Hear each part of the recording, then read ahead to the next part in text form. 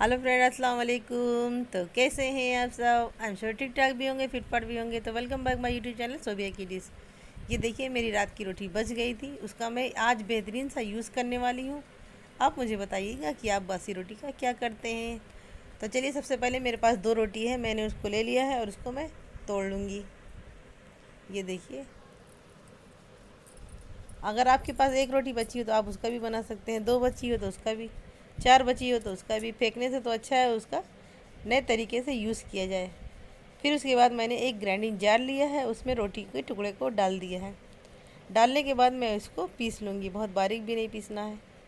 ये देखिए, पीसने के बाद इसको देखेंगे तो ये एक प्याली है। ये देखिए, एक प्याली मेरी ये रोटी है। अब हम एक पैन लेंगे, पैन में इसको ऐड कर देंगे। अब क्या करेंगे, आग जलाएँगे। आग जलाने के बाद इसको हम भून लेंगे। मैंने इसमें एक चम्मच देसी घी डाली है।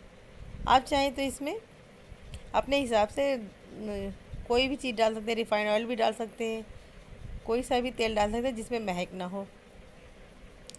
अब इनको हम भून लेंगे। जैसे ये गोल्डन ब्राउन होगी, इसको निकाल लेंगे।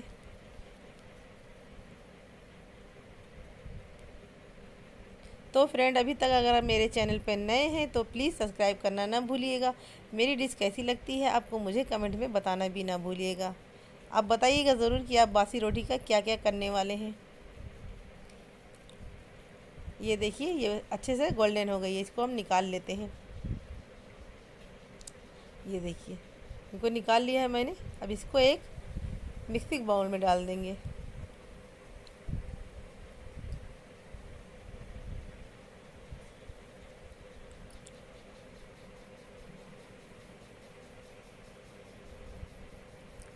बासी रोटी का आपने क्या और क्या क्या बनाया है, मुझे ज़रूर बताना।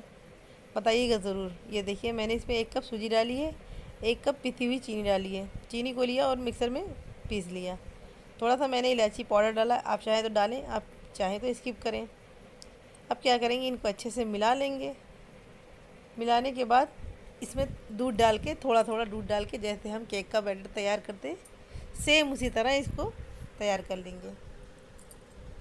तो ये देखिए, तैयार हो गया हमारा बैटर बेहतरीन तरीके से। अब जितना मैंने सूजी ली थी एक कप, उतनी मैंने ये देसी घी ली है। इसको भी अच्छे से डाल देंगे, उसके बाद मिला देंगे। ये देखिए, थोड़ा सा मैंने काजू बादाम लिया है। आपके पास अगर कोई और भी ड्राई फ्रूट हो तो आप उसको भी ऐड कर सकते हैं। गरी का बुरादा भी डाल सकते हैं। अब एक पैन लिया है मैंने, उसमें थोड़ा सा ऑयल लगा के ग्रीस कर लिया है, उसके बाद मैंने थोड़ा सा मैदा लिया है, उस पर ड्रेस कर लिया है। इससे हमारे केक को निकालने में बड़ी ही आसानी होगी, आसानी से ये निकल जाएगा। ये देखिए, हमारा पैन ओवन तैयार हो गया है। इसी में हम पलट देंगे, उस, अब एक तरफ़ मैंने चूल्हा जला के उस पर एक तवा रख दिया है। वो जब तक गर्म हो रहा है, तब तक हमारा बैटर, ये देखिए, थोड़ी देर रख दिया ताकि सूजी फूल जाए अच्छे से। अगर सूजी फूलेगी नहीं तो कड़ी रहेगी। अगर सूजी को थोड़ा सा टाइम देंगे फूलने के लिए तो सॉफ्ट हो जाएगी। तो इससे हमारा बेहतरीन सा नाश्ता बन के तैयार होगा। ये देखिए, मैंने इनो लिया है, पूरा एक पैकेट मैंने ले लिया है। उसके बाद इस पर थोड़ा सा दूध डाल देंगे ताकि एक्टिव हो जाए।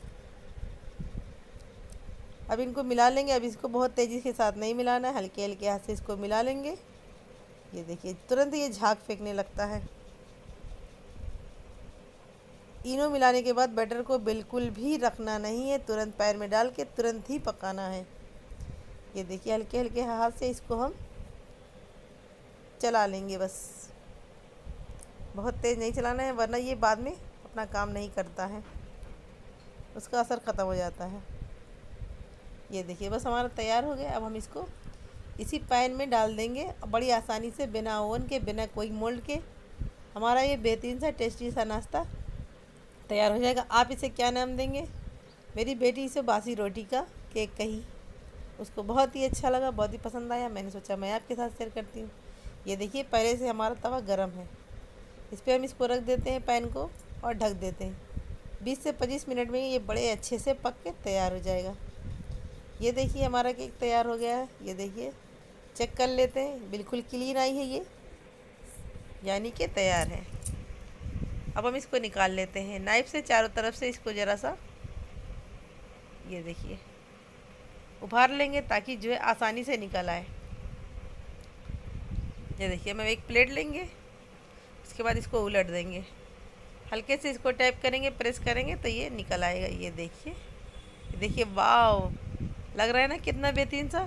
जब आप बनाएँगे, खाएँगे, खिलाएँगे तो आप कोई नहीं जान पाएगा कि आपने इसको बासी रोटी से बनाया है। तो कैसी लगी मेरी डिश? बताइएगा ज़रूर। अल्लाह